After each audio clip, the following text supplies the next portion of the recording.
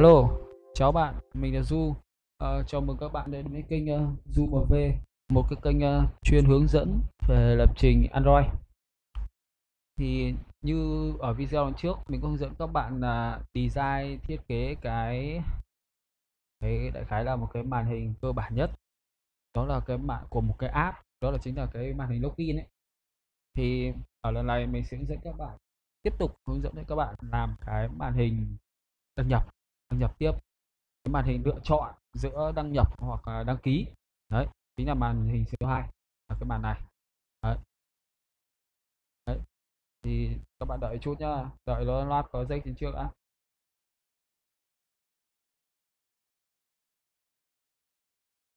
Ồ, đúng có rách này em nhỉ? Đây đây đây có rách lần trước của mình đây.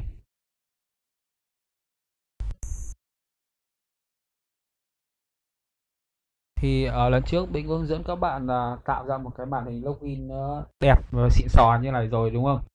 Thì ở lần này tiếp tục là sẽ đến cái màn hình này. Thì phân tích một chút nhá. Rồi? Bút vẽ rồi? Đây. Thì đầu tiên này, các bạn để ý này, cái màn hình này, thứ nhất nó có một cái icon, đúng không? Một cái icon. Đấy, thì các bạn có thể lấy cái icon này ở trong cái file hỗ trợ. Mình sẽ để sẵn ở trong này đấy, ok chưa? Tiếp đến nữa là sẽ có một cái chữ như thế này. Đấy sẽ có hai chữ một cái chữ là đô phi một chữ là Abstra. Đấy. Thì uh, các bạn để ý cái nguyên cái phần này nguyên cái phần uh, nguyên cái phần chứa icon và chữ này nó đang chiếm 1 phần 2 1 phần 2 diện tích của màn hình đúng không? 1 phần 2 cái chiều cao ấy chiều cao màn hình ấy. Còn nguyên cái đống bên dưới đấy nguyên cái đống dưới nó cũng là chiếm 1 phần 2 còn lại. Đấy. Và các bạn chú ý mình một chút nhá. Nguyên nếu như các bạn để ý một chút này thì ở bên dưới đây mình có một cái phần riêng đúng không? Đấy phần riêng. Đấy thì cái phần này luôn luôn nằm ở phía dưới này. Đấy còn cái đống này còn cái đống ờ, uh, button với chữ này sẽ làm ở trên này đúng không? Đấy thì ờ, mình phân tích một thế mình phân tích một chút thế để cho à, khi vào thiết kế ấy, thì các bạn sẽ hiểu rõ hơn. Đầu tiên mình sẽ chia màn hình này ra làm ba tính ra là ba phần đấy. Đấy đầu tiên vào đây này mình sẽ quay lại cái app mình nhá. Đầu tiên các bạn vào trong uh, cái thư mục Java của bạn này.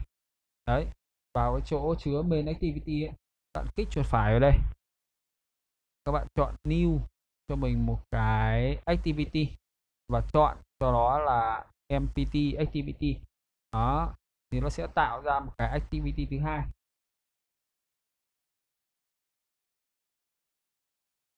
Rồi, đợi nó chạy một lúc nhá.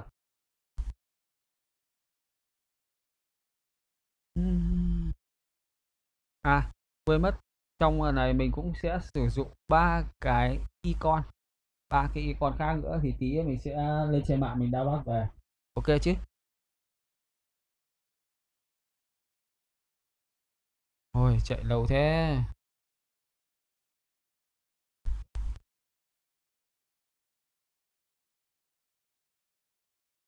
Tan tan tan. Ôi lâu vãi ạ. Có build gì lưu thôi.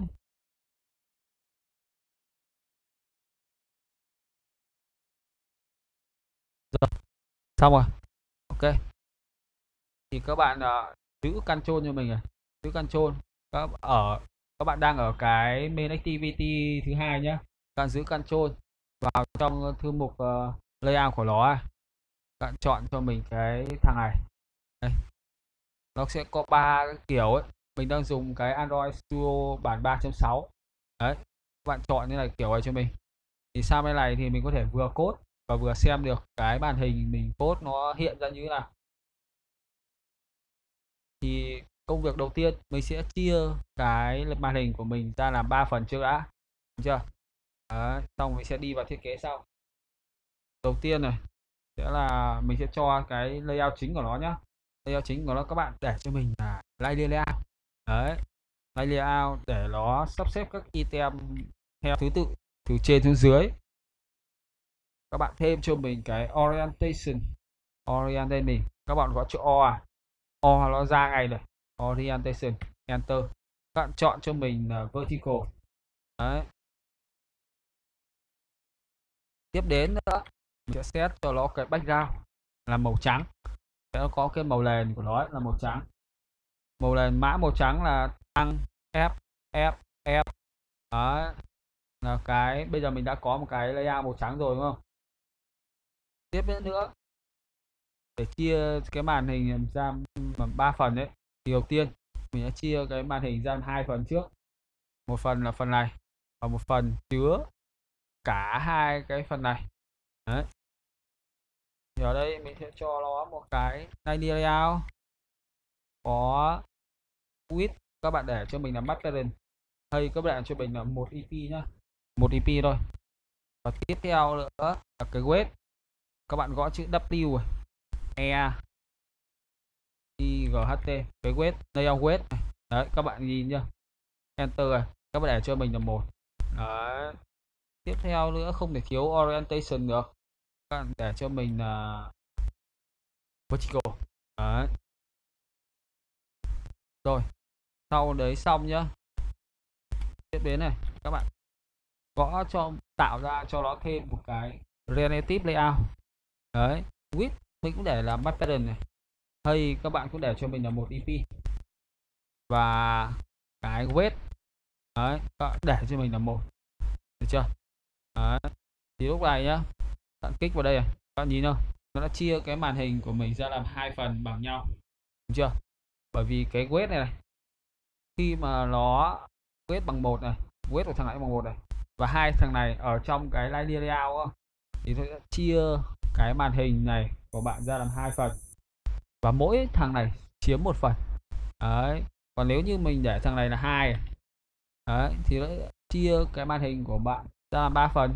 Thằng này chiếm hai phần, còn thằng này chiếm một phần. Đó. Đấy là cái thuộc tính quyết của nó.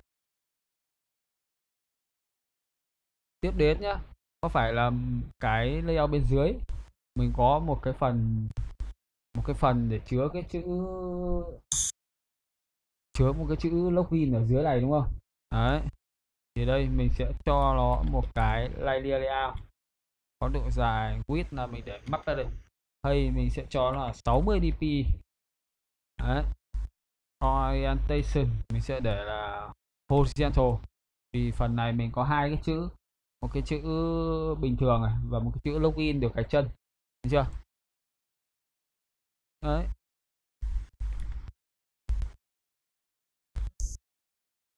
Mình sẽ đóng cái thẻ này lại lại rồi tiếp đến mình sẽ mình muốn cái này nó ở bên sát dưới màn hình này. Thì mình sẽ cho nó một cái a, a, layout agin parent các bạn gõ chữ right đấy nó sẽ hiện lên. Đây chính. Chính là cái thằng layout xích trừ agin parent right các bạn à, nhấn enter. Đấy. Và các bạn để cho mình là chu. Đấy. Ơ sao nó không xuống bên dưới? À bạn, sorry sorry sorry. Sorry các bạn không parent right nhá mà parent button. Các bạn gõ chữ xóa chữ right đi thay nó chữ button. Có nghĩa là nó sẽ ở bên dưới còn right là bên phải. Ok sorry mình hơi nhầm một chút. Tiếp đến nữa nhá à, mình sẽ cho nó một cái layer ra lần này width mình để đó là map parent hay mình cũng sẽ cho nó là map parent được chưa? Đấy. orientation thì mình sẽ cho nó là vertical. Rồi đóng thẻ lại. Và mình muốn và mình muốn cái layout này. Nó phải cách cách cái layout này. Nó cách cái layout bên dưới của mình đúng không? Nó cách bên dưới ít nhất nó phải ở trên đoạn này. Chứ nó không thể làm full màn hình như này được. Thì mình sẽ cho nó một cái margin button bằng 60 dp đấy thì sẽ cách nó cắt cái này dưới là 60 dp là bộ đúng bằng cái hay của thằng layout mình vừa mới tạo. Đó đúng chưa? Sau khi đấy xong rồi. Đấy thế là mình đã hoàn thành cái việc uh, chia màn hình ra làm ba phần đúng không? Và bây giờ mình sẽ tiến hành mình cốt từng phần một. Mình sẽ cốt từ dưới lên trên nhá. Đầu tiên là thằng này. Có phải là có phải là mình có một cái text view không? À quên sorry các bạn. Thì ở video trước mình có nói ấy, những cái video này nó sẽ rất nhanh thôi. Nó sẽ bởi vì nó tận dụng tài nguyên đã có của video trước thì các bạn sang cái file x sang cái file XML của thằng XVT này cận chọn cho mình cái thằng TextView y text view nào giờ nhỉ? Đây TextView này đi. Đấy copy cho mình. Đó. sang bên này cạn paste ở dưới này. Đó, có phải là mình có một cái chữ này không? Bây giờ mình sửa một chút nhá. Đầu tiên là cái chữ này sẽ có màu xám mình sẽ chuyển màu cho nó thành màu xám này. Đấy. Cỡ chữ mình sẽ tăng nó lên. Mình, cái text size không để là 9 sp nữa. Text size mình sẽ cho nó là 15 sp Ôi 15 to thế. 12 đấy. Tiếp đến nữa là cái text này bây giờ mình phải gõ cái text cho nó.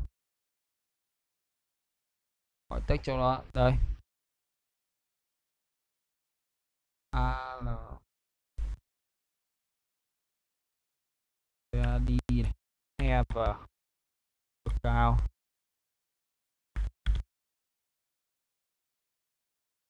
Đây đã có ước cao.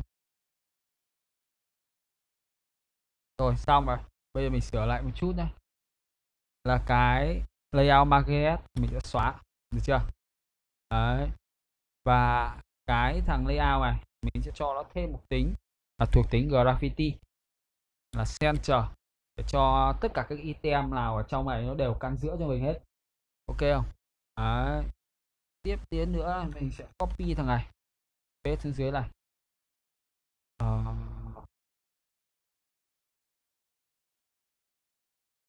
kiểu chữ gạch chân đó là chữ gì?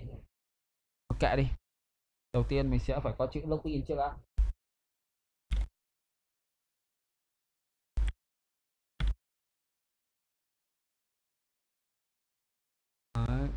Có chữ ờ, à, tiết tăng đúng rồi.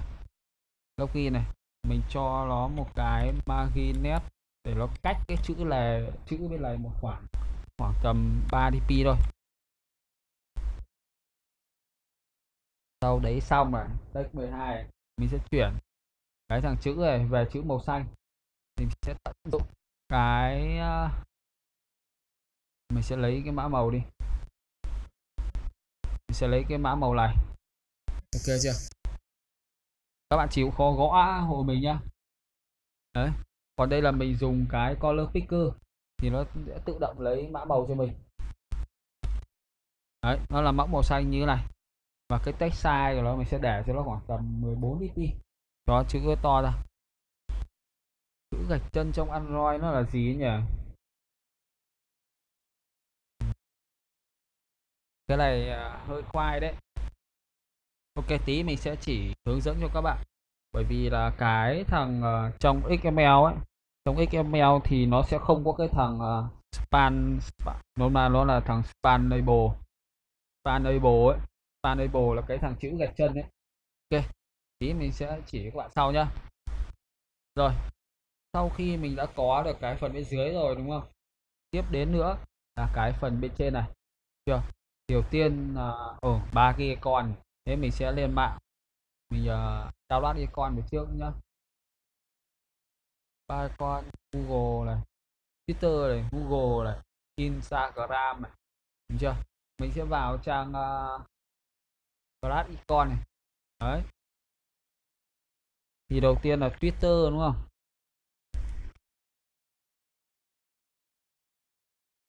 Twitter cái thế là đúng không nhỉ? Xem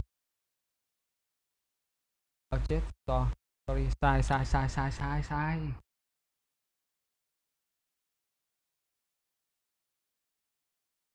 Ờ, không phải à?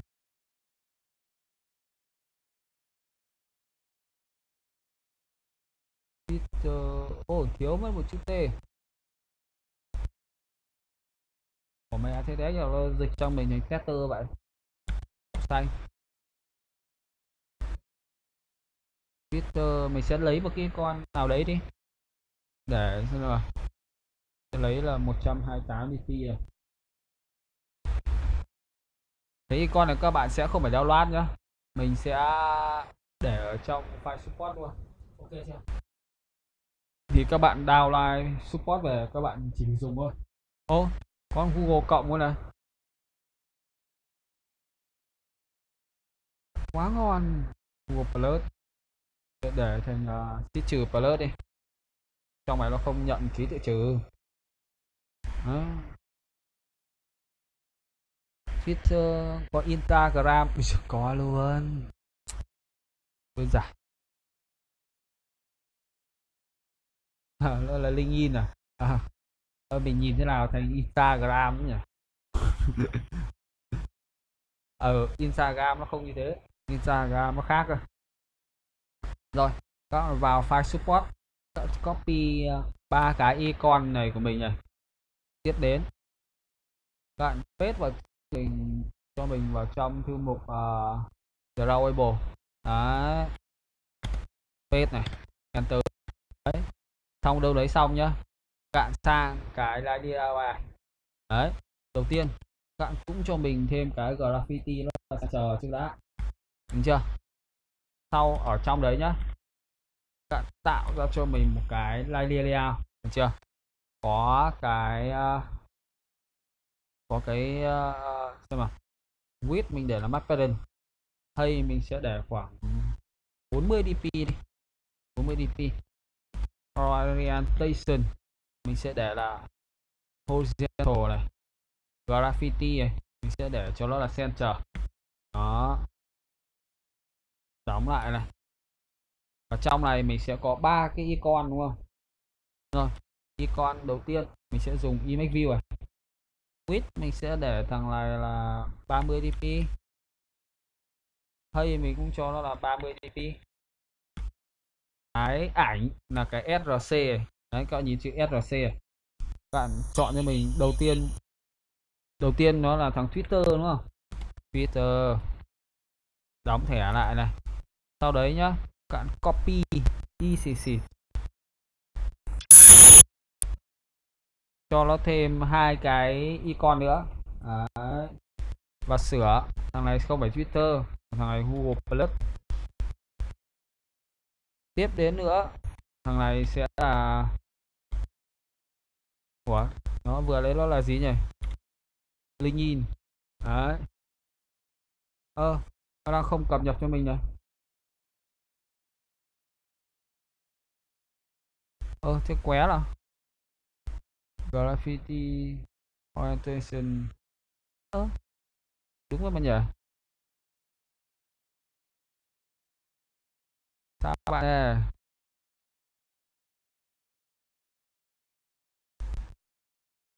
what? What the hell?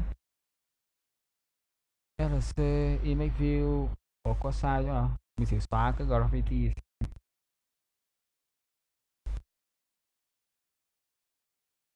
Hoặc các bạn đợi mình chút nhá. Chắc cái cách của nó nó bị kiểu cách của thằng cái là bản mới ấy, nó vẫn còn nhiều lỗi. Android 3.6 Android Studio 3.6 còn nhiều lỗi mình sẽ xóa cách và restart nó.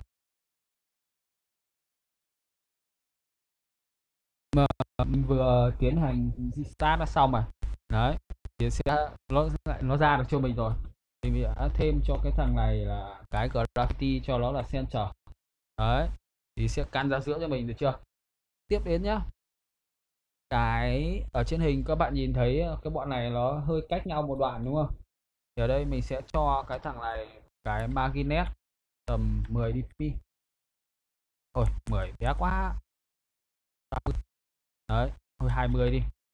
Tiếp đến nữa là thằng này sẽ margin right là 20 dp để cho nó cách so với hai cái uh, icon kia.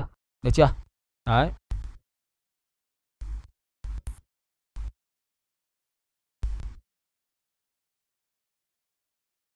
Rồi này xong giấy rồi này. Tiếp đến tiếp theo là mình sẽ có trên này mình có một cái nút đúng không? Đấy.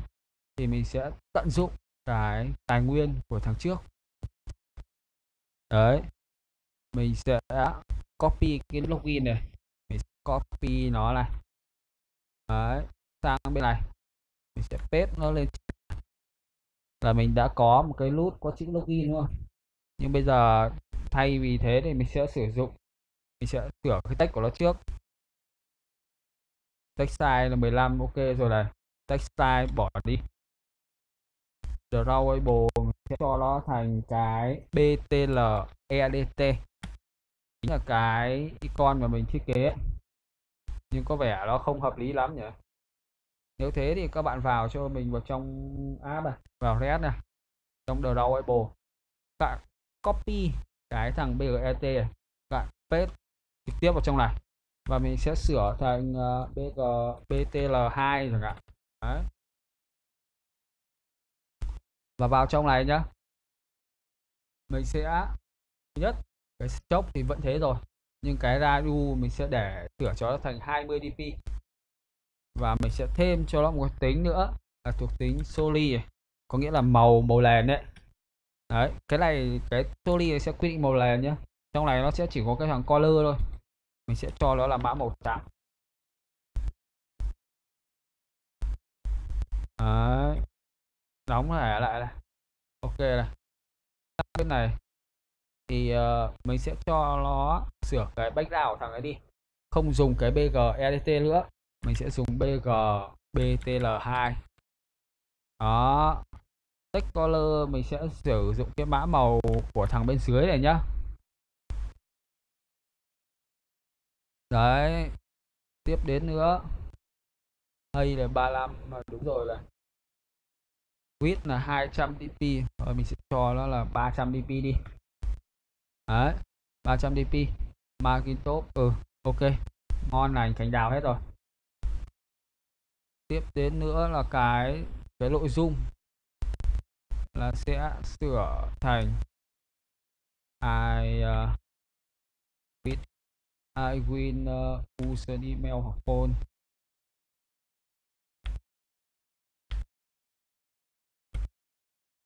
Ờ, rồi ô này. Đấy xong chưa? Đấy. Cái chữ mình sẽ sửa nó thành chữ ờ, cho là 14 fp rồi, đấy. Ngon lành. Xong. Sau đấy xong nhá. Xong cái button này rồi. Mình sẽ copy tiếp để làm cái button thứ hai. Đúng chưa? Đấy. Cái button thứ hai thì nó có đặc biệt một tí. Nó có một tí đặc biệt là nó có cái icon Facebook, đúng không? Thì mình lại lên trên này. Tìm icon Facebook.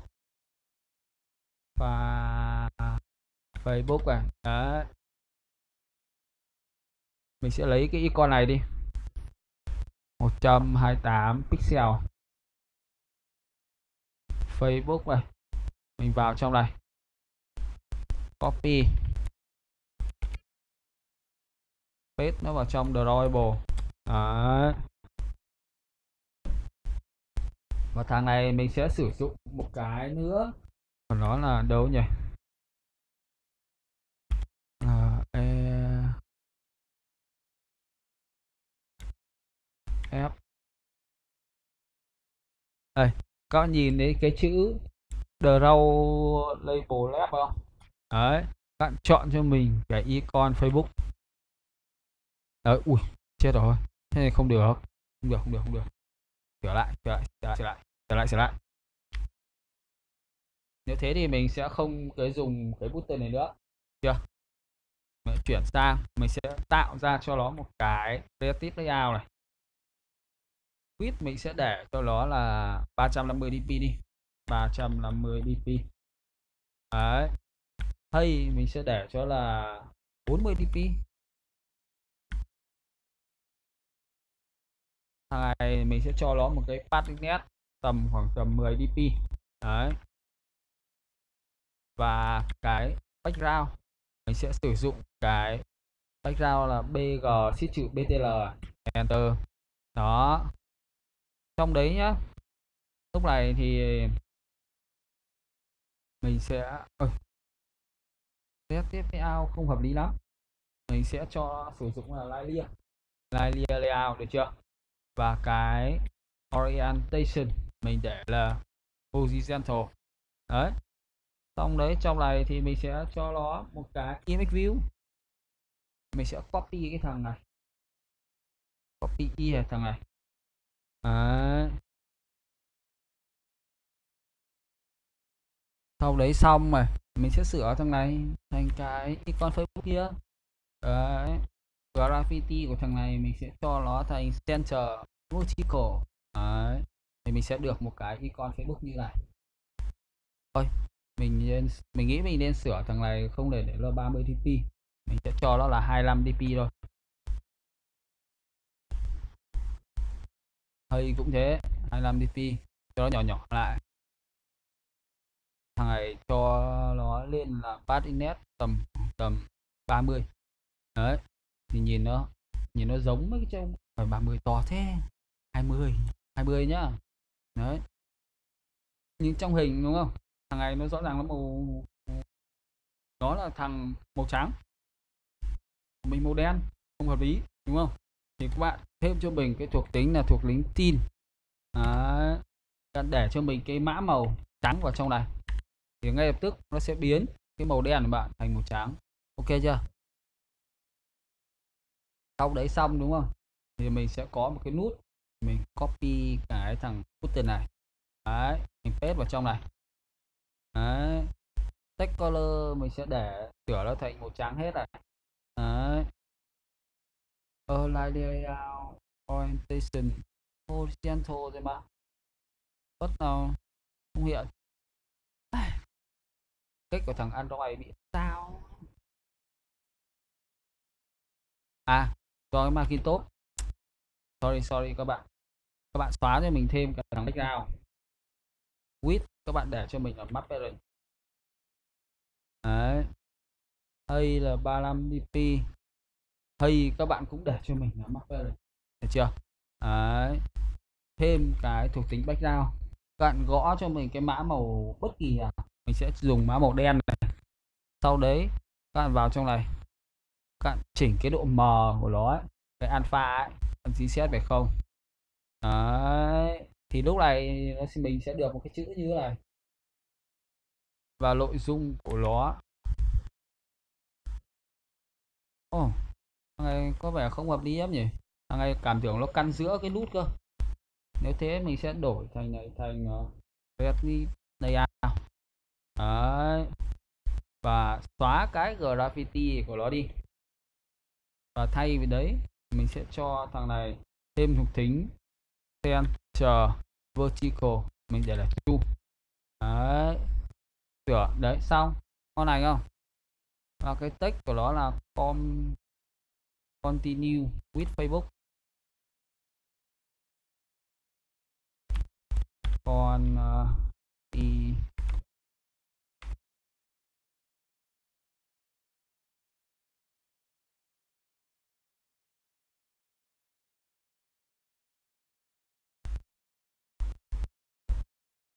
with uh, ờ, Facebook. Và cái uh, VA sao có chữ vẹn Facebook làm đấy with VA what? What the what the VA đọc là gì nhỉ? Không rõ VA chịu. Rồi. Tiếp đến nữa là mình có hai cái tích đúng không? Thì đơn giản thôi. Rồi, mình sẽ sửa cái margin tốt của thằng này đi nhá. Cho khoảng 10 dp thôi. Đấy, cho nó đẹp. Và thêm cho nó cái margin tốt của cái icon bên dưới là 30 dp thằng này 20 đi. Đấy, nhìn cho nó, nhìn nó trông con được được được được được tí. Tiếp đến nữa là mình có hai cái chữ này. Đấy, đơn giản. Mình sẽ tận dụng tài nguyên của cái màn trước đúng không?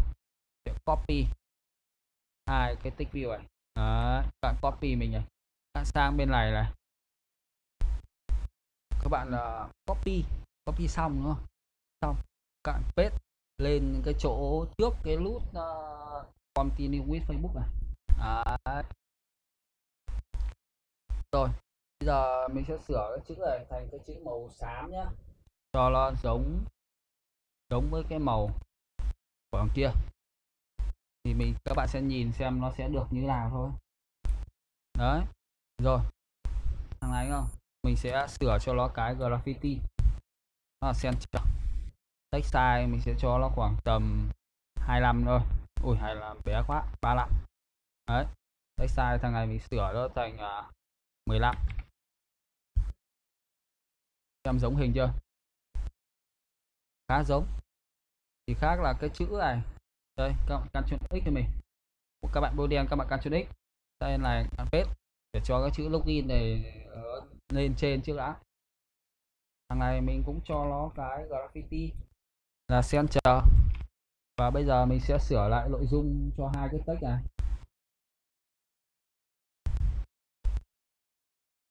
Thì ông đầu tiên, cái chữ text nhỏ này đó là chữ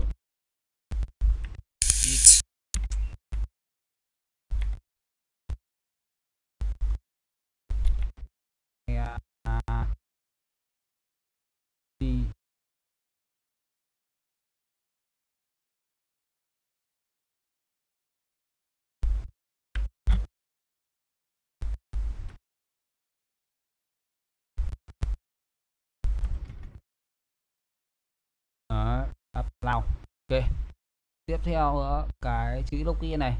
Đấy, sửa cho nó thành uh, thành chữ ờ, một là chữ đăng ký ấy.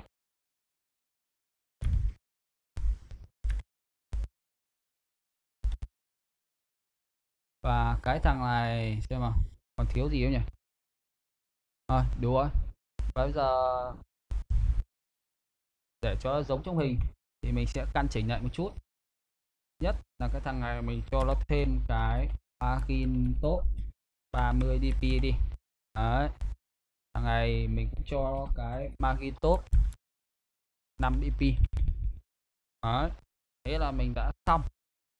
Được khoảng 90 phần trăm rồi đến còn thằng kia nữa còn thằng này thôi.